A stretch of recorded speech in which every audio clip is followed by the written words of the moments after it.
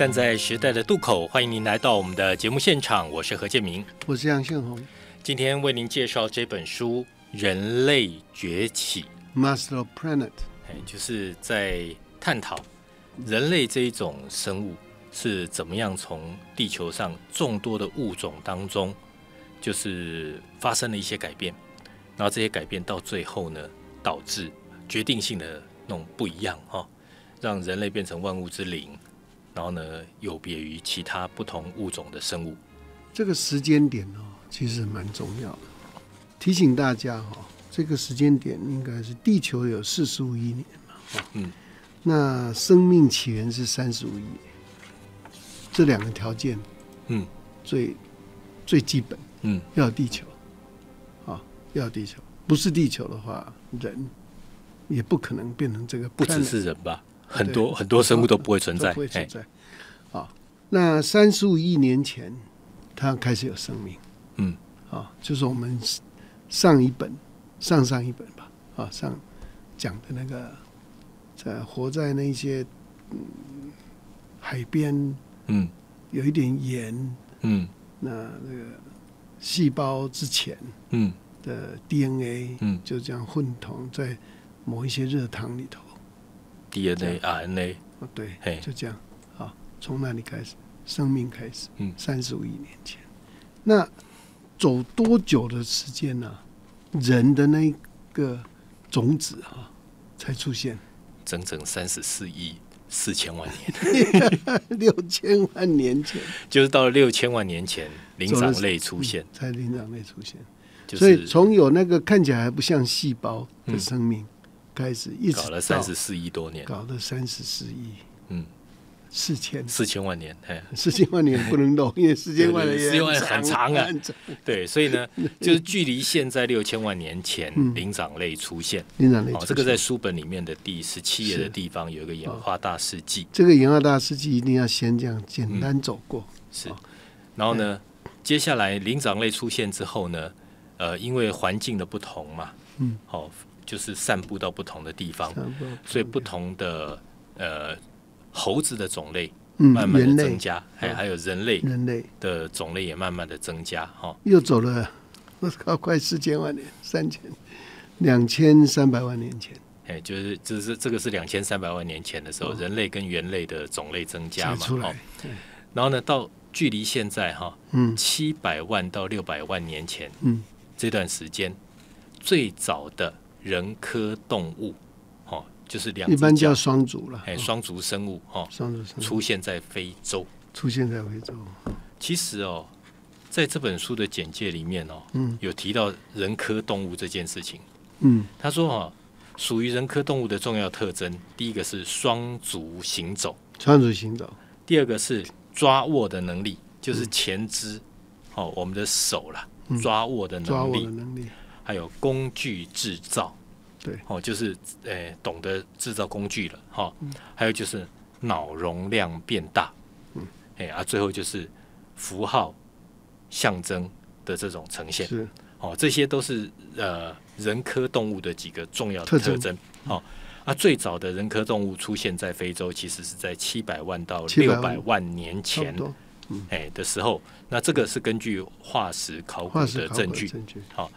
然后呢，再来第一只南方古猿，嗯，哦，就是诶比较接近我们的哦，第一只南方古猿是在四百二十万年前，对，四百二十万年前。然后呢，可以找到最早使用尖锐石器进行切割的记录，这个是在三百四十万年前，这个也是化石证据。这也是科学家是在岩层里面找到那种动物的呃骨头，发现这骨头上面。有被东西切割过的痕迹，对，而且那个切割很明显不是那个什么东西造成的，嗯，就是有另外一个生物要吃它，对，啊，所以呢，就是就是用用了工具去做切割，哈，这个是三百四十万年前尖锐的石器，哎，那那判断起来是尖锐的石器，虽然在那附近没有找到石器，只找到那个骨头，但是因为骨头有有被切割有被的痕迹，所以就是说啊，这个是一个记录，三百四十万年前。然后在两百六十万年前，一次很大的冰河时期开始，好，啊，啊，事实上，地球经过反复经过多次的冰河时期，嗯，但是在哺乳类动物开始在这个地球上面繁衍之后，那一次大的冰河时期是在两百六十万年前，是，然后再来就是非洲草原上的动物，同样在两百六十万年前，嗯，开始显著的增加，然后呢，还有就是制作发现了最早的制作石器的记录，的记录。那所谓早期的石器是长什么样的东西呢？答案是拿两颗石头。嗯，互相撞击以后，嗯，它会破碎，产生破碎面。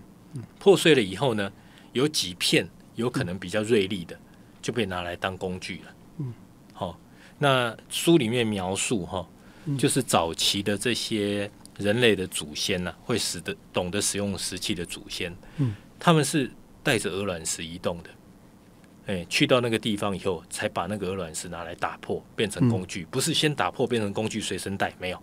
嗯，哎，是扛着鹅卵石移动的哈。嗯，那显然他们觉得说这样子做比较比较有道理。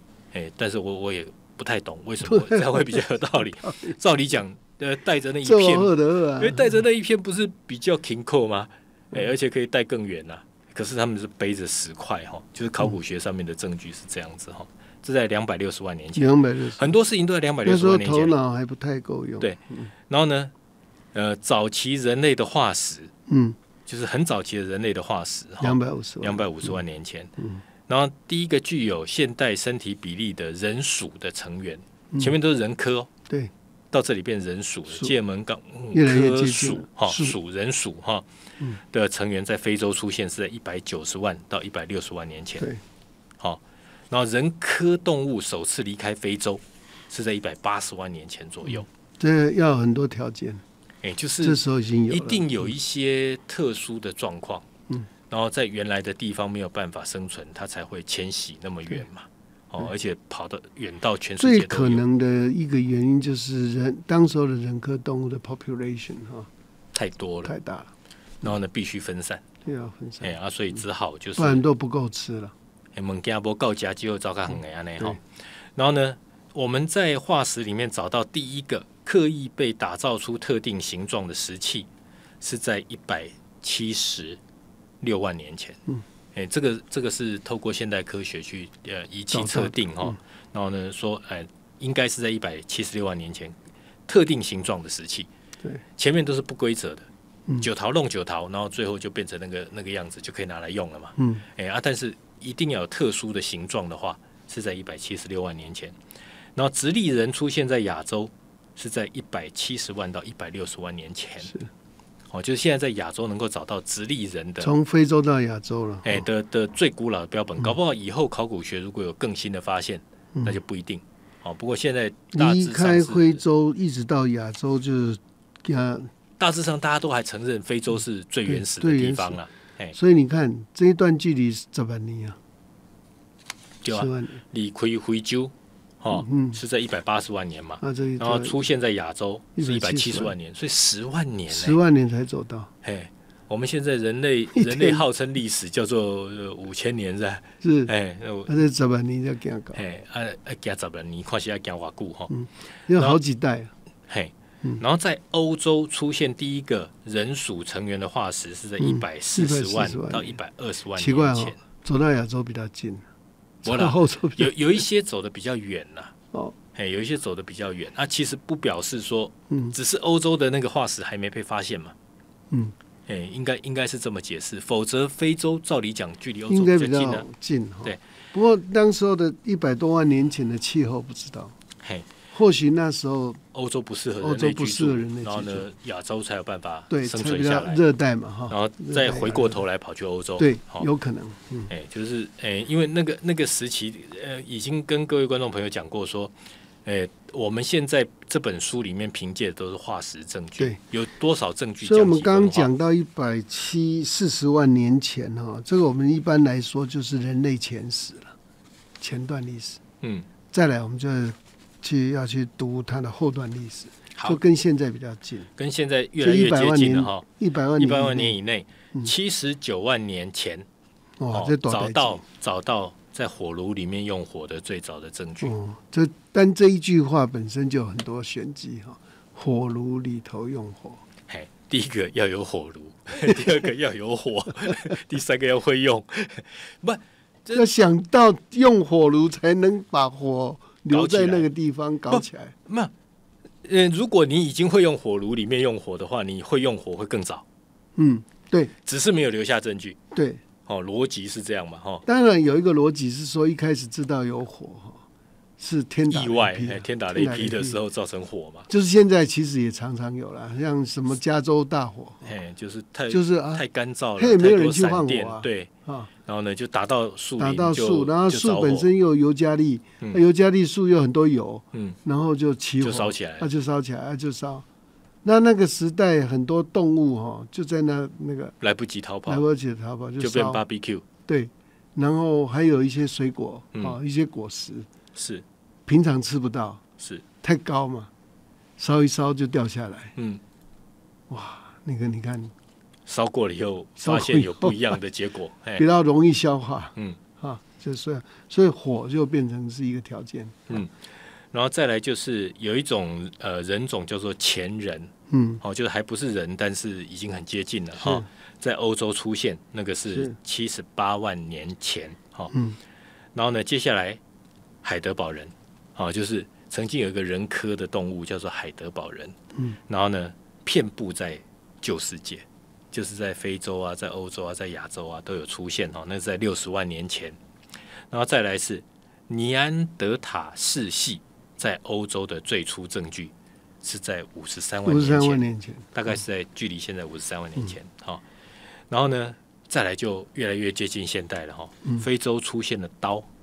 哎，就是在非洲找到刀哦，啊，那个是在五十万年前，哎，就是人类已经懂得制作刀了哦。嗯，然后呢，再来就是木质长矛跟带柄的工具，这个就复杂了哈。哎，撸撸来撸复杂吧哈。嗯，做的工具越来越精巧。四十万年前，四十万年前，细仔版你讲哦，就是发现说哦，那个时代的人，哎，人科的动物哈，嗯，已经会做这种长矛了哈。嗯，然后再来。会开始盖盖房子了，对，哎，在四十万年到三十五万年前，哦，嗯，然后再来是最早的预制石盒的工具，哦，就是预先可以可以做的，哦，在三十万到二十万年前，然后最接近人类的智人，就是其实就是就是人类了，就是我们，哦，就我们 Homo sapien，Homo sapien，就二二十万年前，二十万年前，二年二十万年前。然后出现在非洲，所以我们的祖先真真正的我们的祖先，并没有很久，二十万年前，二十万年前，嗯，出现。好，二十万年，然后 Master of the Planet 其实讲的是他们，讲的是这一群，就是这群智人呐。对，就是这样，二十万年。然后他们出现了之后，地球就开始改变，对，剧烈的改变是，嘿，然后前面十九万十九万五千年。改变不太大。前面哦，六千万年哈，六千万年，你知道那个六千万年的意义啊？嗯，很有意思的，因为那个时候就是恐龙不见了，恐龙不见了，哺乳类兴起，哺乳就是灵长灵长类，哺乳类没错，你刚刚讲没错，对啊，哺乳类兴起，然后灵长类中间从中间就变成适应了那个星球。啊，所以如果还有恐龙的话。没有那颗外面撞进来那一颗陨石，嗯，把恐龙全部都灭了，嗯，变成石油，所以恐龙的灾难是人类的，就变成是这样。所以如果没有那个意外，可能这个历史又不是这样。嗯，这个过去的化学化石历史也不是这样。所以，所以最早的人类，最接近现代的人类叫智人嘛？嗯，智人是二十万年前的产物。对啊。然后智人，可是现在看起来，如果没有经过前面这一段，嗯，没有智人了。是啊，他都是一步一步过来的嘛，一步一步过来，就那六千万年，他有次第过来，有次第有逻辑嘛，是一直过走到这二十万年。好，为您看的是人类崛起，我们稍微休息一下，马上回来。腕隧道症候群是临床上最常见的周边神经病变。如果患者出现手麻的现象，最好快点接受医师诊疗，不要以为只是单纯的手麻、睡觉压迫或者是扭伤等。因为早期诊断治疗，除了可以缓解发炎状况，还可以减低神经的永久受损。有一个检查方法，就是我们手掌弯曲成九十度，靠在一起，一分钟以后，如果说没事，那就恭喜你哈，你不是万岁到症候群。但是，一分钟以内你感到拇指、食指跟中指会麻，你就可能是万岁到症候群的患者。假如已经确认诊断是万岁到症候群，我们要看看哈，是不是因为甲状腺的问题，或者是类风湿关节炎的问题，或者是尿酸过高的问题，也就是痛风的问题，或者是糖尿病的问题。你首先要把这些慢性病控制好，再来呢，我们就是针对万岁到的症状，内科治疗就是吃药。另外呢，其实很多人会选择开刀。然后呢，还有做护健。另外呢，护健的时候，他也可能会帮你设计一个护目，晚上睡觉的时候戴。你就是依照当时的状况跟医生咨询，寻求最适合你的方法。我们希望比较容易得到万圣道症候群的，像做面包的师傅、美发师、电脑工程师、经常要搬运的工人，还有使用电动器械的这些人啊，他能够适当的做一些伸展的动作的，就是我们工作大概四十分钟做一个腕部的伸展动作，像这样一二三四五六七八九十，然后呢放松一二三四。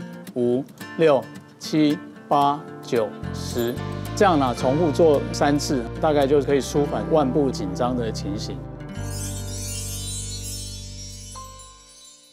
欢迎回到节目的现场，我是何建明，我是杨庆龙。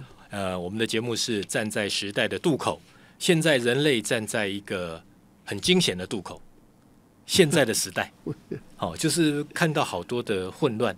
好多的种种的想法，很多都是人自己制造，人自己制造了好多问题，对不对？对。可是回过头去看看我们的祖先，嗯，哎，那他是怎么来的？筚路蓝缕，哎，然后一路这样子披荆斩棘啊。从六千万年前恐龙开始消失的哺乳类开始起来了，找到机会。哎，那那个也没有一直变，一直那那个时候他也不知道有机会，那个时候他只是求生存而已，不知道有机会。对啊，根本不知道吧，不知道明天在哪里。他只是努力的活下来嘛，一直到二十万年前智人才出现，才出现。那时候比较有机会设计未来啊。哎，那个时候也很难讲了，因为比我们强的东西还很多了。对对对。嘿，然后呢，呃。接下来哈，十万年前。不过你记不记得我们读另外一本书的时候，这个智人几乎把把别的动物都吃光了，对，把比他大的都吃光了。所以人类真的是一个奇怪的，对，在这个物种在地球上，又又从非洲起源哈。嗯，这个非洲真的是一个很神秘的地方哈。嗯，每一种啊，人科人属人种，嗯。那每一个都从惠州开始，嗯，然后去到不同的地方，适应当地不同的条件。惠州一定有什么神秘的条件然后最后，最后，然后变成不同的肤色、不同的语言，然后呢，被散布在世界各地。然后呢，就是哦，这个时间点不断的蔓延下去。对，大概智人走出来哈，惠州七万年前。对，就是就是七万年的时候，在在在在哪里啊？在澳洲哎。那差不多六万年就走到澳洲了。对对对对对对对，就那到欧洲大概四万年。你看又来了哈。欧洲好像往这边比较容易哈。对啊，那非洲非洲要到澳洲其实很远，对不对？对啊，要搞半天的，而且而且澳洲是一个对岛呢，是从非洲要去到澳洲很难搞哎，要坐独木舟哎。嗯，那个时代又没有气气艇，不见得，它可能是在冰河。哦，冰河时期，所以可以走过去。走过去，哎，那那也要走很久哎，中间也没饭吃哎，不知道有没有鞋子啊？对呀，一定没有嘛，不然就是那个一腾下卡走冰河，田枝啊，那个那个那卡带哦，卡带就用。闹科林哈，嗯对，那但但是在澳洲发现的第一个现代人类是六万年前发现的，嗯，然后在欧洲看到现代人类的化石是在四万年前，就现在考证的时候是四万年前，但但在欧洲出现的这个现代人类哈，嗯，同时也伴随着出现大量的艺术还有符号，对，就开始蓬勃发展，这是这个作者写的第一个前言。了，哎，不不不。都是都是这啦，都是这啦。对，那一个是就是那种可以画在墙壁上面的绘画，跨国这个交界，就是蓬勃发展哈。然后呢，接下来尼安德塔人跟直立人都灭绝，灭绝哈。这个把它记住，沙满尼沙沙满尼经，哦，就是跟我们是兄弟，哦，都在人科人属底下，那到尼安德塔人就是真的是人了，但是他就消失了，直立人也消失了。然后历史上有很多人说他们是被那个智人吃掉了，整个整个毁掉了，整个灭族。灭族。然后呢，接下来就是佛罗勒斯人灭绝是在一万四千一万四千哎，这也是一一个特殊的人种哦。然后呢，再来就是冰河时期结束是在一万两千年，然后呢，人类开始进入农作时代、农耕时代，然后开始驯养动物是在一万一千年前。对。哎，就到了，就到了我们比较接近的、接近比较接近我们的现代的是那个历史了。是，所以这是一个大历史了。嗯，我们可看到这个大历史正在怎么样啊，一步一步走到我们今天了。这个是其实是一段蛮重要的的过程哈。不过我在这里头哈，再提供另外一个，但这本书没讲，特别有兴趣了哈。就如果，因为我们讲的是比较简单、比较快速，说三十五万年前生命开始，三十五亿，三十五亿年前生命，呃，这个生命开始，四十五亿年前地球地球开始。出现，这样，那我们就马上跳到六千万年了嘛，嗯，好，就是灵长类嘛，嗯，中间其实还是有一些故事，嗯，这些故事哈，应该是这样，寒武纪哈，六亿。三千五百万年前，嗯，六亿三千五百万年，好，那个其实是一个标记，嗯，寒武纪就是差不多六亿多年前到五亿四千万年前，嗯，六差五六亿年前，嗯，寒武纪大爆炸，嗯，也就是说，生命虽然开始，可是大量的生命呢出现在地球哈，在五六亿年前，嗯，这也是一个重要 mark，嗯，那当然就走过来哈。有奥陶纪，有自流纪，有泥盆纪，有石炭纪，啊，这些都是地地质的那个地质年代。嗯，但是这些你顾名思义的哈，泥盆纪啦、石炭纪啊，都是代表当时候的地壳变动非常厉害。嗯，啊，所以就不停的有灭绝事件。就是虽然有生命，可是生命可能很脆弱。嗯，但是也活很久哈，因为那个。呃，我们刚刚讲寒武纪哈，是五亿四千万年前哈。那走到泥盆纪哈，这已经不晓经过几次灭绝哈。嗯。那大概这个，如果我们以石炭纪来说，是差不多三亿五千九百万年前。所以这中间也不过就是差不多一亿多到两亿年。嗯。也很长。嗯。好，很长时间里头经过好几次灭绝，啊，就出现了没有了，出现了没有了，出现了没有了，又出现了又没有了。就这样，嗯，一直滚动哈，所以这个一直滚动到差不多，呃，这后面当然是二叠纪、三叠纪，然后再来是侏罗纪，这就大家比较熟悉，因为有电影，因为电影《侏罗纪》。侏罗纪，那侏罗纪是出现在什么时候呢？侏罗纪是两亿年前，嗯，好，那它当然是经过白垩纪哈，它一亿四千五百万年前，然后再来就是。进入哈白垩纪的下一个就是古晋纪哈古晋纪。古晋纪里头的古新世是六千六百万年前，嗯，就是发生那个撞击事件，嗯，六千六百万年前就是在这个时间点。所以我现在稍稍微补充一下，就是说我们事实上刚刚跳比较快，嗯，我们帮大家补充就是五亿多年前生命非常繁复，然后经过大概五亿年了。五亿年的时间，就到了这个嗯侏罗纪啊，大概是经过三亿年多，然后再往后再经过了两亿年，也就是恐龙其实健在哈，从侏罗纪穿越白垩纪，一直到白垩纪的古新世，嗯，它灭绝的时候，它其实活在这个地球上的时间。称霸，嗯，它叫做称霸一亿四千万年，Master of Planet，好，那当时是。那是霸王，就是 就是恐龙曾经 domain 这个世界啊，一亿多年，曾经主导这个世界啊，比我们的世界还长啊。对，我们才二十万呢。我们现在从从智人到现在才二十万呢，非常早。我我们非常年轻，我们非常非常年轻。我们讲这一段的历史的原因，就是说，比我们称霸的早的、称霸的久的还多的是。嗯，啊，可是他们因为没有语言，就都是到最后是用化石证据证明他们曾经存在过。嗯，好，就这样。那当然走入这个里以后，哈，呃，这个应该是叫做记的哈。嗯。但它其其实是正在显生咒底下的新生代，嗯，我们称为显生咒新生代，就是六千六百万年哈，嗯的这个这个时间点往目前推，这一个代里头有总共有从从旧旧时代到今天，总共经过古禁忌、新晋纪、第四纪啊，第四纪，现在我们在第四纪。那如果以世啊，来世来算的话，记一下就是，就是古新世、始新世、建新世，然后中新世、上新世、更新世，到现在是全新世。好，所以呃，基本上这里头又经过二四六七七个市，嗯，七个市从六千六百万年前一直走到现在一万年前，嗯，一万年前就是我们的全新世，是。所以，我们刚刚是用另外一个地质年代哈，再来把这个时间点稍微分一下。啊。一万年前，嗯。也就是冰河时期刚刚结束，刚结束。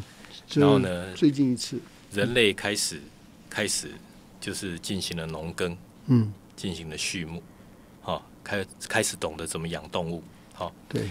那那个，我我想帮大家读一下前言。嗯，前言很很精彩的。如果你望着黑猩猩的脸，深深看进他的双眼，嗯，十之八九你会出现很强烈、很复杂而且暧昧不清的反应，嗯，或许你在全盘考虑过后，会很像是维多利亚时代的人一样，想要退缩，哦，因为你在人类的那种兽性跟野蛮哦，你你发现你自己也有。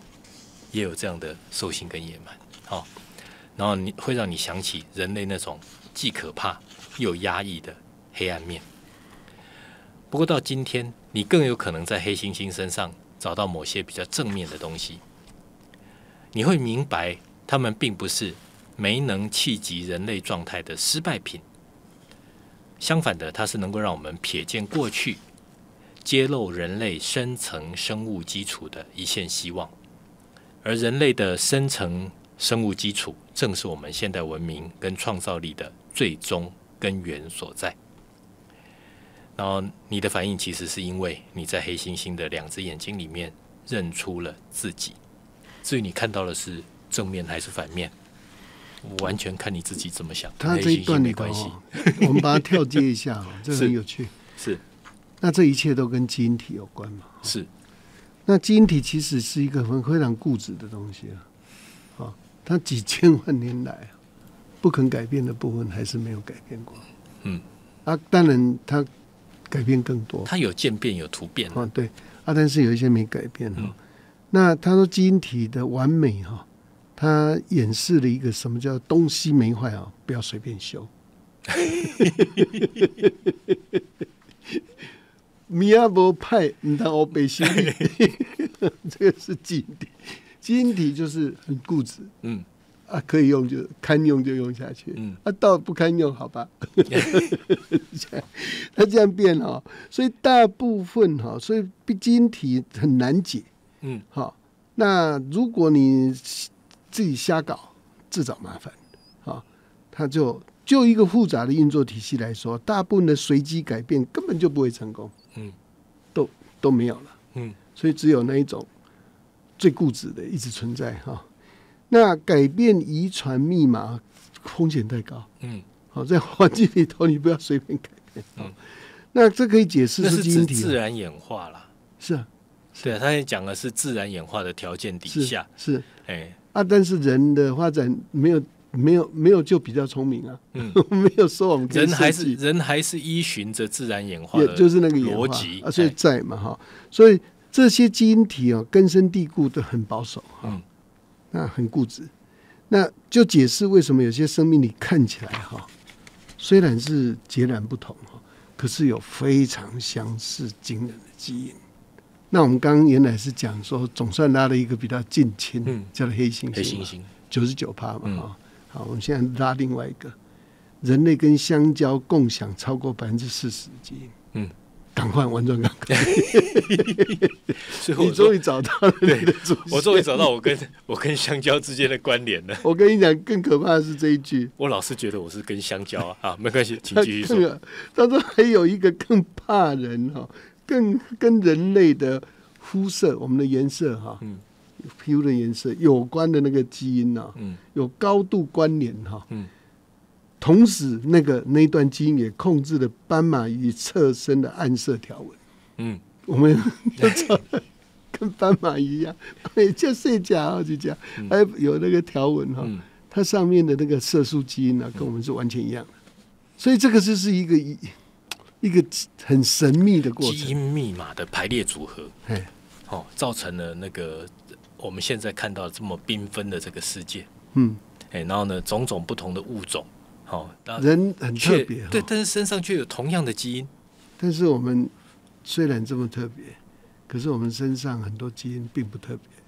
对，每个人看起来都不一样，其实基因算起来差不多。蛮好的，我还是我觉得还是当香蕉比较好。所以这里头不用伤脑筋读这么多书啊。香蕉没有在读书吗？对啊。不然不信，你叫香蕉读书给你听啊！但但但是为什么可以增进你的健康？难道他没有一点点脑袋瓜吗？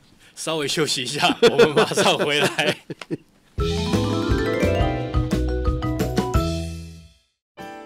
如果想要有进补的效果，又不会造成身体的负担，素食会是不错的选择。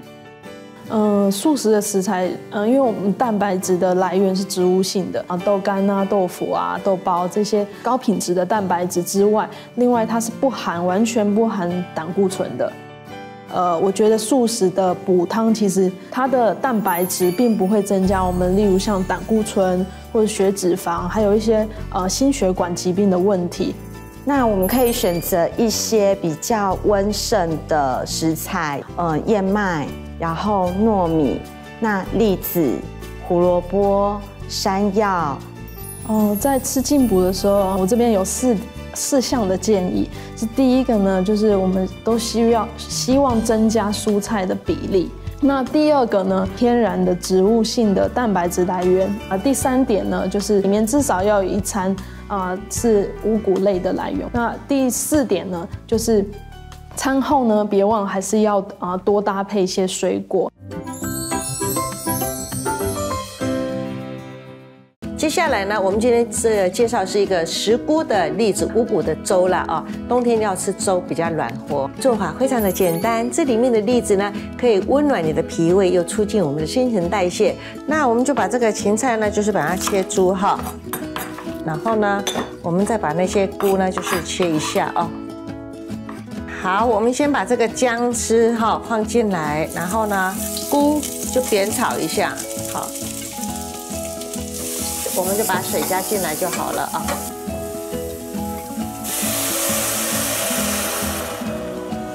这个栗子也加进来哈，然后呢，把我们的这个饭也加进来，好，盖上锅盖的话，只要一煮滚起来，大概就三分钟就可以了。呃，芹菜呢是我们要吃的时候再加哈。拿这一碗暖乎乎的粥品来作为调养身体的进补圣品哦。欢迎回到节目的现场。嗯，我们跟香蕉的距离是百分之四十。是，我们有四十 percent 基因跟它完全一样。对对对，然后跟黑猩猩相似度是百分之九十九。哦，就是差一 DNA 差一差这么多。哎，差一。啊，啊，跟香蕉也没差太多。奇怪的感觉，奇怪的感觉。那呃，就是说。经过演化的结果了，嗯，好，然后呢，人类在这个世界上，呃，开始改变这个地球的样貌嘛，嗯，好，那回到很早很早很早以前，好，这本书就是要回到很早很早很早以前，就是还没有人类之前，哎，到底人这种生物怎么来，怎么跑出来的？嗯，哎，其实看起来怎么演化来的？看看起来根本就是很惊险的，差点就没机会了，想起来。嗯，但更不用讲了。地球这个这个星球，还跟太阳之间产生这样关系，还不止。它也非常惊险啊，很惊险。那那你站在人的角度看很惊险，你站在万物的角度看看。也很惊险。那那把钉钉气片嘞啊，对吧？哈，对啊，就这排序，哎，那个轨道的排序，如果差一换一下就完蛋，就没有也没有地球了，哎，地球结结束。所以这些每一点刚刚好，都刚刚好。嗯，人生难得了哈，哎，这个太多条件，佛法难闻。此生不像今生度，更像何生度此生。人生难。得，就是因为人生这么难得嘛，呀，哎，所以你要你要更珍惜嘛，哈，嗯，就是人类跟其他生物真的是很不一样啊，嗯，哎，我们我们懂得就是拥有不一，我们有不一样的感觉啦，我们处理资讯的可能就是因为资讯的处理嘛，哈，嗯，然后有文字的处理，嗯，然后智慧还可以沉传。嗯，就因为有文字，因为有语言，所以呢，很多很多知识可以被就不是一颗脑袋下来。啊，是好多颗脑袋这样可以接在一起，而且可以跨时代接嘛。嗯，啊，然后互相出错嘛，啊，互相帮忙，其结果才有这样的书去告诉我们。嗯，所以人类应该是唯一的生物知道这整个真相。包括宇宙怎么来，生命怎么开始，人从哪里来？啊，所以我就讲说，为什么到今天为止，更有趣的是这些事情，如果再往前推一百年呢，都还是在讲神话，没有人能够告诉你这么多。嗯，这是最近一百年才有的事情。是，但是刚刚刚好，也就是最近这一百年。是我们对这个地球破坏最大的一百年，对，最大的一百年，就是我我们的呃科学能力提升了，嗯，破坏能力也是啊，但是随着这个能力提升，破坏的能力也提升了，哎，这是很恐怖的一件事情。啊！我们对地球造成的毁坏，现在看起来是不可逆，哎，就是已经已经到了那个不可逆的边缘，然后可是我们还是觉得哦。不下，没关系呀。我这个也是一个非常大的故事了哈。嗯，我们但在他前言里头哈，其实一直在告诉我们的就是这个人哦，在这样的一个环境底下哈，他有几个，他还是把它归纳出来哈。嗯，就是他认为符号使用跟洞穴的艺术哈，嗯，那个是一个非常重大的一个突破。嗯。然后再来就是资讯的传递，啊，变幻莫测的演化。杨先刚讲了一句话是很对的，哦，就是那个人类能够这样发展下来，其实是非常非常惊险的，很惊险。哦，嗯。然后呢，那个书里面的作者讲一段话，他说：“嗯，你是所有物种里面最聪明的成员，嗯，但是偏偏在猎食者伺伏的环境里面。”如果同时你也是跑得最慢的，那你的聪明可能就没什么价值。哦，所以人类就是这种，其实，在很多物种里面比起来，它是最极脆弱的一个一个物种，既没有锐利的爪牙，嗯，也没有过人的体力，嗯，都没有，都没有。然后原来还是人家食物，对你根本就是被狩猎者。对，就是书里面的作者。有提到哈，就是说，在呃最早的时代里面，人人哈这个鼠了哈，或者说更早一点的猿猴哈，很类似人类的猿猴这个鼠，其实它在生物圈里面都是被狩猎者，不是狩猎者。其实人类一开始我们在啊久远的一次有哪一本书我忘了，嗯。啊，可能是哈拉里的书，嗯。啊，呃就是。Homo sapien，嗯，那本书里头有谈到，他本来是在草原上一个躲在一个暗处，看别的生物吃完了，吃完了再偷偷上去，要等好几天呢。哦，还有有的有的会制造一些声响，把那个生物骗走，然后赶快去抓一点。啊，可是当那时候拿到的时候都是腐腐坏的，嗯，所以人类其实在所有的呃。刚开始生物链，生物链是属于 scavenger，所以清道夫，嗯，就是基本上是捡食腐食腐败食物的呃食用一种生物。对，它并不是吃新鲜的食物的。嗯，那是腐。它没有能力嘛？对。好，所以一个那牙齿也没长得特别厉害。对，就是一个这样脆弱的，嗯，这样子的一个一种身体构造，再怎么想，它都不应该就是到最后变成 master of planet。哎，但是呢，结果偏偏就是就偏是就是这个物种，哎，到最后变成是 master of planet 哈。然后书里面呃一开始在讲的哈，说那个基因哈，刚刚杨先讲到基因嘛，东西没坏那就别修嘛，对不对？你就让我想到那个当时我们在在做那个 电视台的数位化的时候啊，我们经常装起来一台伺服器哈，装完以后没多久它就 crash 掉了。装完没多久，它就 crash 掉了，就坏掉了啊。然后呢，我们就很好奇啊，怎么回事嘞？哦，然后这到底是什么原因呢？那就把那个厂商找来嘛，请他解释。那厂商看了看，哎，你的 OS 版本有改？我说对啊，因为因为那个原厂有有释放那个升级程式啊。然后我一升级，你的你的系统就 crash 掉了。他那个人就跟跟我讲说。你不知道吗，何先生？没事，不要乱升级。就是这个，就是这个。在在还没有稳定的时候，不要乱修理，不要随便修理。对，没事，不要乱修理哈。大大概是一样的道理嘛。所以你刚才讲的时候，我笑得很开心。我就想到他跟我讲那句话，还有他讲话的表情。没事，不要乱升级。所以说，我们现在在点那个手机的时候，看到他邀请你要升级的时候，赶快现在已经好太多了，现在真的已经好太多。不过，现在手机每一次升级还是会有一些会有出现一些状况。现在现在的这些科技的厂商，哈，嗯，我觉得他们某种程度有点把消费者当白老鼠，嗯，就是它的升级程式写到一定的程度，他就先把它释放出来，释放出来以后，有一句台湾话了，叫做。